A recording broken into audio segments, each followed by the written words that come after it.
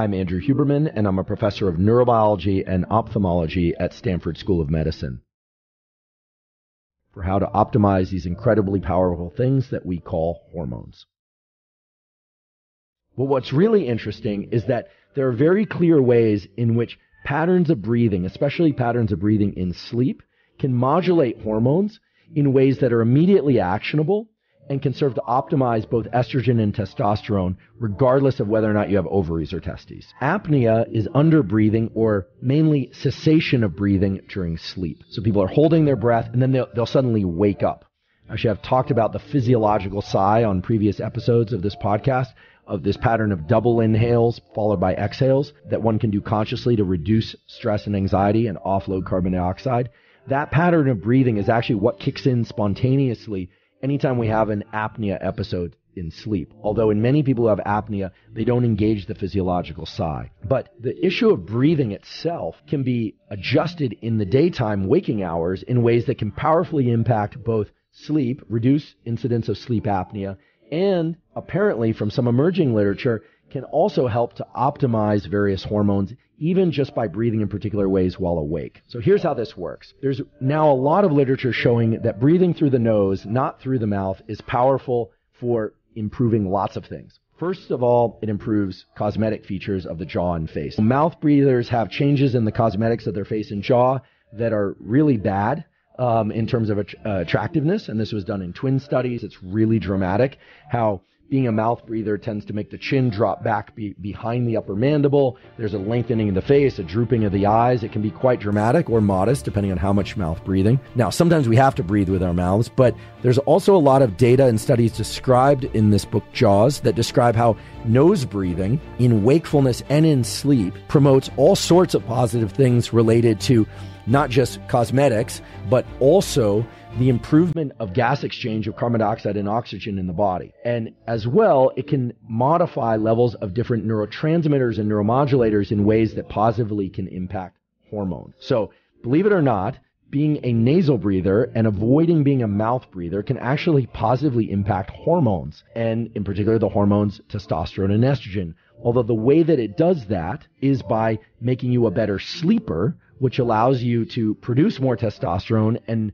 the appropriate amounts of testosterone and estrogen, but it does that in part through indirect mechanisms because deep sleep supports the gonads, the ovaries and, and the testicles, and their turnover of cells and the production of cells. Remember in the in the ovary, particular cells and the egg follicles themselves make estrogen, and in the in the test in the testicle that the Sertoli cells and the Leydig cells are important for the formation of sperm and for testosterone respectively. So what does this all mean? This means we have to be breathing properly. It almost sounds kind of, uh, you know, uh, like kind of new agey, like, oh, you have to breathe properly to get your hormones right. But no, you have to breathe properly to get your breathing and sleep right so that your sleep can actually be deep enough and you're not entering apnea states.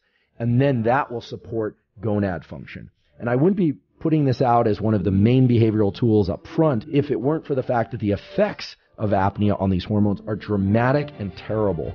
And the positive effects of getting breathing right on these hormones, testosterone and estrogen, are dramatic and wonderful. When apnea is reduced in sleep or eliminated, there are significant increases in testosterone in males and in proper estrogen to testosterone ratios in females. And the way that it works is very interesting. Apparently, it works by reductions in cortisol. Now, cortisol is a stress hormone that is released early in the day as we wake up and serves healthy roles in protecting us against infection, reducing inflammation, etc. But you don't want cortisol to be too high, and you certainly don't want it elevated too long throughout the day and night. And so we all know, because now we've been told a lot in the last decade or so, that getting proper sleep is important for all these aspects of health. Getting proper sleep can um, really offset all the reductions in testosterone and estrogen and reductions in fertility that occur if we don't get enough sleep.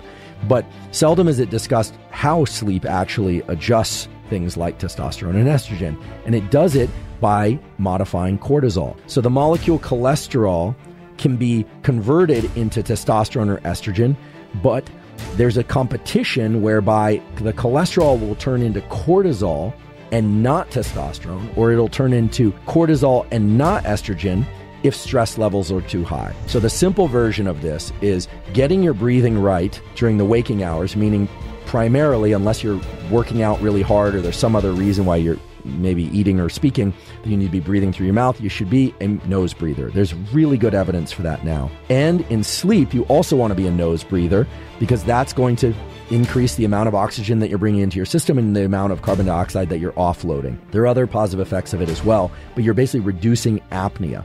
Breath holding in sleep leads to buildup of carbon dioxide and leads to increases in cortisol, which then decrease testosterone and decrease estrogen in negative ways across all sexes. So nowadays there's a lot of interest in using cold as a way to stimulate testosterone. This is mainly because in the, you know, in the sports community in particular in the bodybuilding community, they are always seeking ways to maximize testosterone, dihydrotestosterone, keep estrogen to its minimum required to still have libido and still have, you know, skin elasticity, but also walk around with saran wrap skin, then all this kind of extreme stuff that happens there has led to a recent movement where believe it or not, I heard this and I, I, couldn't believe. I went and checked, although I didn't buy them, that on Amazon, you can actually find uh, people have their literally underwear that have ice packs, or I think they're ice pack underwear, so that people are making themselves cold at the level of the gonads in order to try and increase testosterone and libido.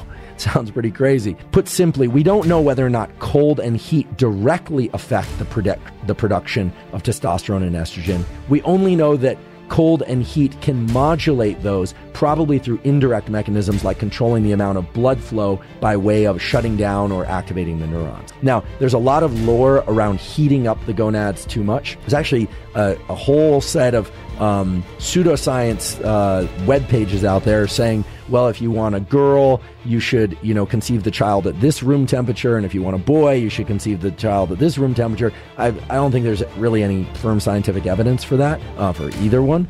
But there's some interesting literature about temperature dependence of production of hormones. And I think that it probably relates to these mechanisms of vasodilation and neural control over vasodilation. And of course, excessively high heat is not good for the testes, for sperm production, or for sperm health. Sperm have all sorts of proteins in the cap, things like pentraxins and other things that cause them to swim faster when they're uh, expressed properly and in the right locations. And heat actually alters the location and the function a lot of those proteins. They're very heat sensitive. And so that's why excessive heat is truly not good for fertility, which may be independent of heat's roles in promoting estrogen or testosterone.